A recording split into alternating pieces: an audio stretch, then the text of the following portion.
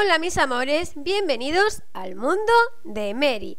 Hoy os, traigo las fotos promocionales y el resumen del capítulo 50 de Senkal Capimi, segunda temporada. Mañana tenemos capítulo y tenemos todos, creo, ansia viva por ver a Serkan cómo se comporta con Eda al saber que está embarazada.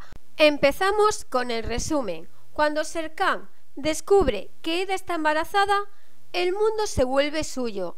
Ahora toda su concentración está en Eda y en su bebé. Sin embargo, esto será un desafío para Eda. Como Serkan tiene miedo de que algo le pase a su bebé y a Eda, se preocupará mucho y le hará la vida difícil. Eda, por otro lado, ocultará su embarazo a todos por el momento, para que nadie más se enamore de ella excepto Serkan. Pero esto generará una mayor confusión. Bueno, os resumo lo que yo entendí.